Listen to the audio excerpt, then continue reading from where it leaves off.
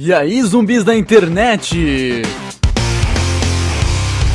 Que tal uma introdução ao programa Sony Vegas?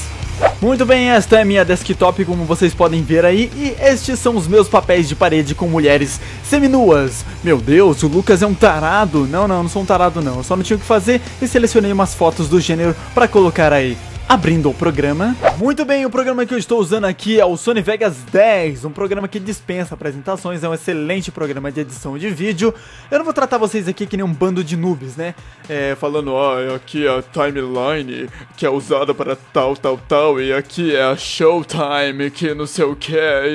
Foda-se. Obviamente, se você está procurando um tutorial de Sony Vegas, quer dizer que você já mexeu no Sony Vegas. E se você ainda não mexeu no Sony Vegas e está pro procurando um tutorial de Sony Vegas, recomendo que você mexa no programa, fuça bastante, para depois vir aqui e pegar um tutorial. Assim você pode assimilar melhor as suas ideias e você vai esclarecer melhor as suas dúvidas. Então, se você ainda não mexeu no programa, vai lá, corre lá, baixe o seu programa, mexa bastante, fuça até o programa dar pau e depois você vem aqui, ok? Muito bem, agora vamos aprender a fazer a coisa mais básica da edição de vídeo, que é importar um arquivo para dentro da nossa timeline aqui para a gente poder trabalhar com ele. Vamos em Open!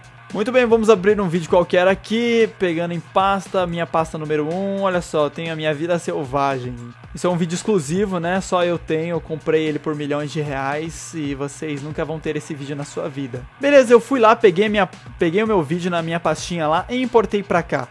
Mas e se eu tiver um vídeo aqui na minha área de trabalho e outro vídeo que eu precisar estiver lá na puta que pariu dentro de uma pasta, dentro de outra pasta, dentro de outra pasta, dentro de outra pasta, dentro de outra pasta, o que eu faço? Muito bem, o Sony Vegas ele trabalha com importação direta. O que seria isso? Eu posso abrir as minhas pastas que estão os meus vídeos diretamente aqui na minha barrinha de tarefas. Então, abro as minhas duas pastas e eu importo diretamente da pasta. Só clicar e arrastar. Então, se você vai trabalhar com dois vídeos diferentes, no caso aqui os dois vídeos são iguais, mas tudo bem é, dois vídeos diferentes é, de, em diferentes pastas, pastas distantes, você pode abrir as pastas que você que estão os arquivos que você vai precisar aqui na sua barra de tarefas e arrastar diretamente da pasta para sua timeline. Mas se você estiver trabalhando com vários vídeos diferentes, várias imagens, vários áudios é, separados em diversas pastas, ou seja, mais de 10 pastas, 20 pastas, não compensa você abrir 10, 20, 30, 40, 50 pastas aqui na sua barra de tarefas, ia pesar pra caramba o seu PC. Então você pode usar a barrinha aqui do Explorer. Muito bem, aqui no Explorer, como vocês podem perceber, ele mostra as pastas para mim em um modo de raiz, né? Ele mostra a pasta aqui, logo embaixo ele já abre para mim as pastas que tem dentro dessa pasta e as pastas que tem dentro desta pasta que estava dentro da outra pasta e por aí vai. Daí fica tudo mais fácil quando eu quiser pegar alguns vídeos e áudios e imagens de diferentes pastas. É só eu clicar na pasta que tem os vídeos, puxar os vídeos para timeline. Eu clico nas pastas que tem um som, arrasto os sons para timeline, pego quantos sons eu quiser. Eu já pego, clico em outra pasta e já pego as imagens que eu precisar. Pego para cá, trago para cá, vamos ver, trago a imagem para cá e assim vai. Uhul! Se liga na imagem, mano. Pirou, né? Pirou. Vixe!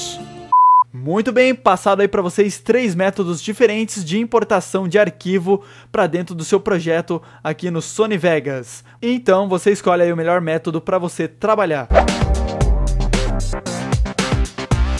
Muito bem, agora eu vou passar para vocês algumas dicas de como trabalhar melhor é, dentro do seu Sony Vegas. Primeiramente, preparem a sua tecla da letra S, porque você vai usar muito ela porque é a tecla de cortar o vídeo. Como você pode ver aqui, vou apertando o S, ele vai cortando meu vídeo para mim. Como você pode ver aí, eu tenho vários picotes do meu mesmo vídeo. Você já percebeu aqui que o Sony Vegas trabalha com multitracks, ou seja, várias trilhas onde eu posso colocar vários vídeos, várias imagens e também vários áudios. E com o Sony Vegas é muito interessante porque nas trilhas que ele abre, ele abre em diferentes cores. Como você pode ver, eu tenho a minha verde aqui, eu tenho uma azul, eu tenho uma uh, vermelha, outra verde aqui, uma roxa e assim vai.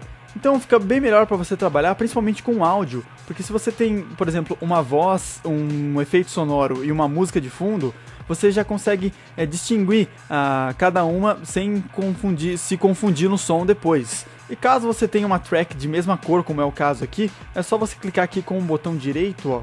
Você tem aqui a Track Display Color, você pode setar as cores aqui para você trabalhar melhor. Por exemplo, ah, eu quero que os áudios tenham uma cor amarela e os vídeos tenham uma cor roxa e você escolhe aí o melhor jeito para você trabalhar. Você também já percebeu que eu tenho muitas tracks e elas não cabem na minha tela. E olha que a minha tela é grande, então se você tem uma tela pequena, então você vai sofrer um pouco com essa parte aqui. Então, o que você poderia fazer? Você poderia clicar aqui do lado e correr, né, é, pelas suas tracks de cima a baixo. Mas para evitar de ficar clicando aqui do lado sempre para para ir lá para baixo, para voltar lá para cima, para ir lá para baixo, para voltar lá para cima, você pode fazer o que? Você segura o seu Ctrl e rola a sua barrinha do scroll ele também funciona do mesmo jeito. Fica bem mais fácil. Você segura o Ctrl e pode ir para baixo, vai para cima, vai para baixo, vai para cima, rolando a scroll. Ok, o zoom é também ele é pelo scroll, né? Você vai com o scroll para frente, você volta com ele, você vai, você volta, você vai, você volta, você vai, você volta. Você, assim fica bem mais fácil. Se é o caso de você não ter um scroll, também tem aqui do o cantinho aqui, você pode clicar em mais, em menos, você vai e volta também.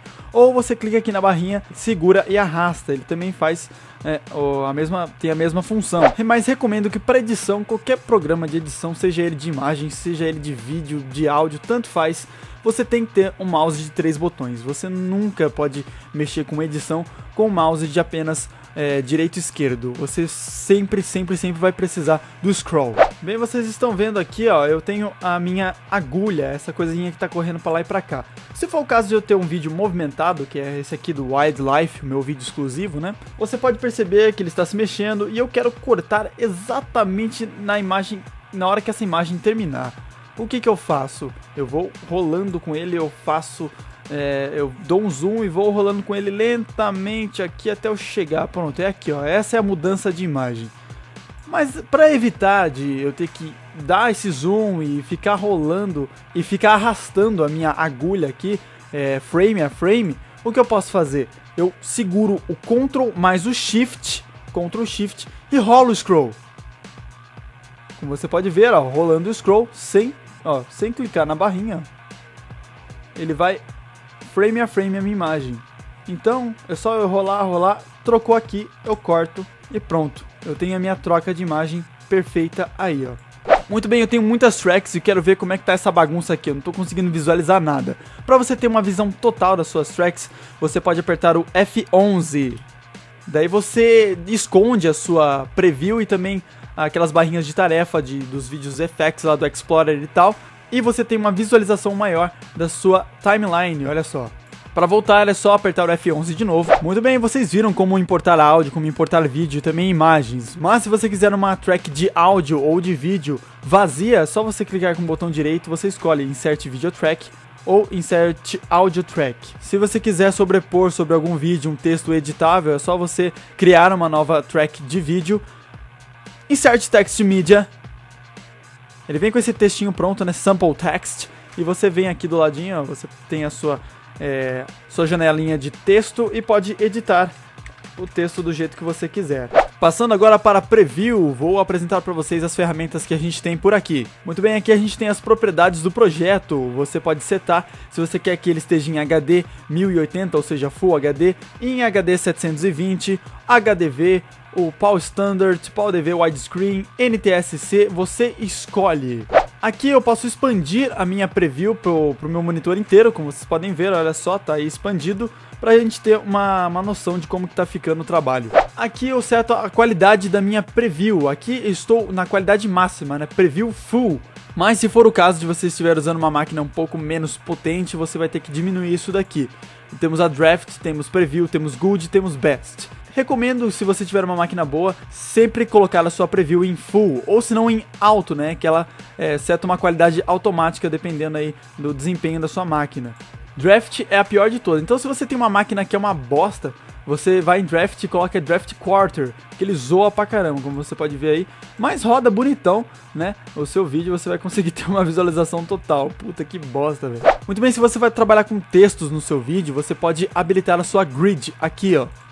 Isso aqui funciona como uma sinalização de que está dentro da área de atenção, está saindo da área de atenção e está fora da área de atenção. Já esse disquetezinho que vocês estão vendo aqui é para eu poder salvar uma foto da minha preview. Você clica aqui e ele já abre uma pastinha para você salvar uma imagem. Você pode ver aqui, eu posso salvar a minha, minha imagem tanto em JPEG quanto em PNG. Salva-me em JPEG aqui na minha área de trabalho. Imagem 1, você pode escrever o nome da sua imagem. Aqui acho que aquele bicho ali deve ser uma capivara, não sei. Daí eu vou lá na minha área de trabalho, ô louco, hein?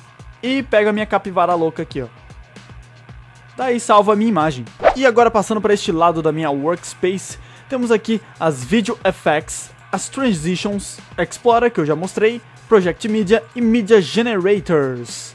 Na Effects, como o nome já diz, tem os efeitos de vídeos. As Transitions são as transições de vídeo, tem várias delas aqui. Eu não costumo muito usar isso aqui não, eu faço os cortes em fade in, fade out e também em corte seco. Explorer, nós já vimos. Project Media é onde ficam os arquivos que você está usando na sua timeline agora. Como você pode ver, tem a minha imagem aqui e ela está aqui. Outro detalhe também é que se eu criei um texto ou salvei uma imagem, como eu já tinha mostrado para vocês, ele também fica aqui, ó. Está aqui a minha, o meu texto que eu criei e também a minha capivara louca que eu salvei como imagem. E finalmente o Media Generators. Aqui tem vários presets que eu posso usar para incrementar os efeitos de vídeo, para fazer algumas